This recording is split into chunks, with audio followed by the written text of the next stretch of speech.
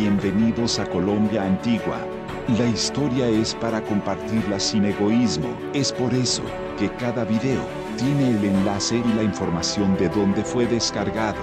Esperamos que los videos y la información sean útiles para usted.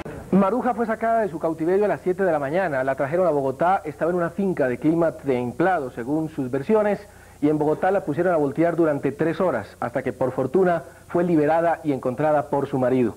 Los detalles de esos momentos, paso a paso, la secuencia con Rodrigo Beltrán. ¿Dónde la liberaron? ¿Dónde? Está allí en la 107 con 29. Viene para acá. En esos momentos recibe la noticia del doctor Villamizar de que acaba de ser liberada.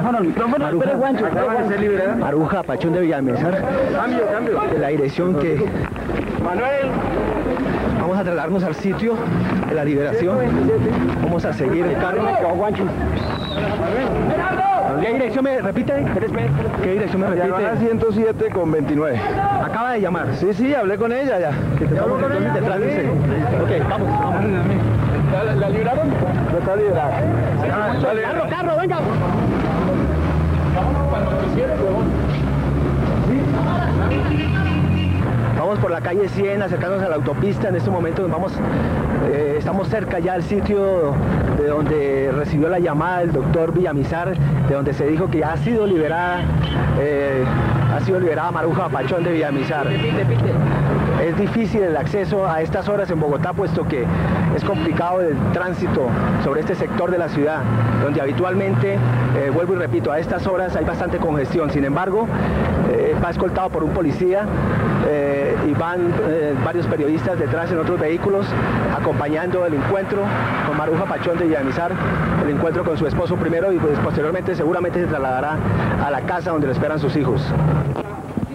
Es acá, parece que es confirmado, es acá, la diagonal 107, número 2973, exactamente. Finalmente hemos llegado al sitio, hemos llegado al sitio donde ha sido liberada Marujo Pachón, entra el doctor Villamizar, no se ha permitido el acceso aquí a la prensa, estamos pendientes. ¿Quién ¿En la qué- trajo, por favor? Eh, no sé exactamente, la trajeron en un carro y la dejaron exactamente aquí enfrente a la puerta de la, de la casa. Ella llegó, timbró, ¿quién abrió la puerta? No, yo venía eh, de recoger mi carro aquí en Autofull, di la vuelta para abrir la reja y en ese momento vi una escena, una persona que se me hizo con un rostro bastante conocido, yo la conocía ya desde años atrás además por otras vinculaciones. Y me dijo, señor, ¿usted me podría llamar un taxi, por favor, que, que... y yo soy Manuel Pachón? Ya, ya, ya. Bienvenida nuevamente aquí a nosotros. No, no, porque vamos para la casa. sí, vamos para la casa. Vamos a la casa y allá los atiendo, ¿sí? Allá los atiendo a todos. Estoy muy agradecida. Lo más, lo primero que quiero decir es que estoy muy agradecida por la solidaridad de todos ustedes y de los medios de comunicación y que ofrezco esto por la paz de Colombia y por la memoria de Luis Carlos Galán. ¿Por qué no nos cuenta brevemente cómo la dejaron aquí? Prensa, es que la- allá la están esperando en la, rueda- en la...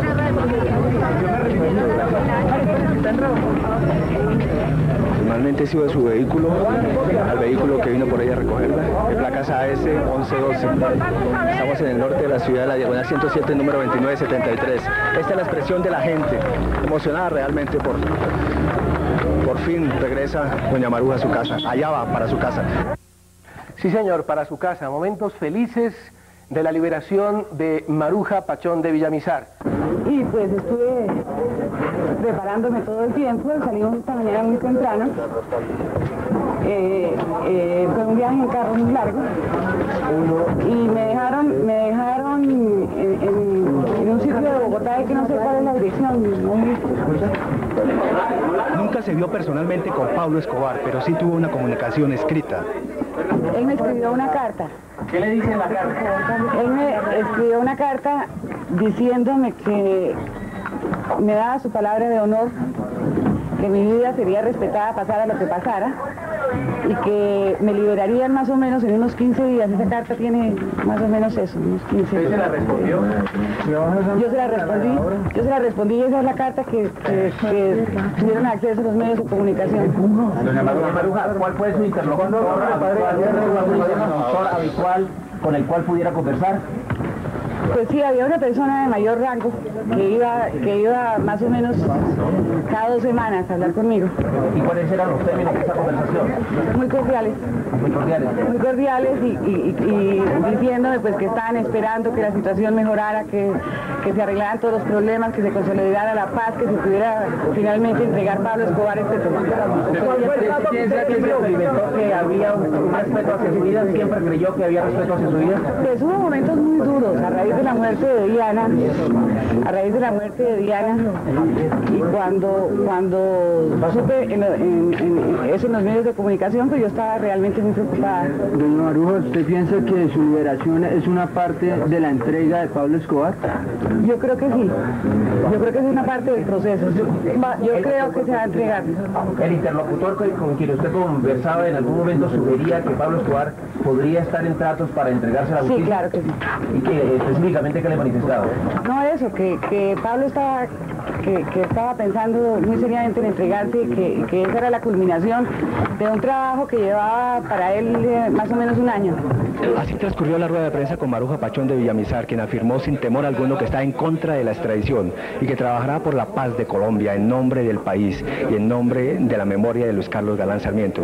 Rodrigo Beltrán de hoy desde la casa de Maruja Pachón de Villamizar. Y en este momento también hay reacciones desde París, donde reside Gloria Pachón, viuda de Galán, quien nos da su reacción a la liberación de su hermana Maruja. Bueno, yo naturalmente en estos momentos estoy muy emocionada, estoy eh, muy contenta, me siento muy feliz desde que este proceso tan largo, tan duro, tan doloroso para todos nosotros haya culminado satisfactoriamente. Eh, hemos sentido y estoy sintiendo en este momento la solidaridad de todos los colombianos en este caso solidaridad que ha contribuido indudablemente a que las cosas se vienen bien y ayudarnos a nosotros también a sobrellevar este, este, este peso tan tremendo que significa la ausencia de una persona eh, querida, de una persona de la familia por tanto tiempo. Simultáneamente yo pienso que la liberación de mi hermana Maruja significa también una esperanza para la paz de Colombia.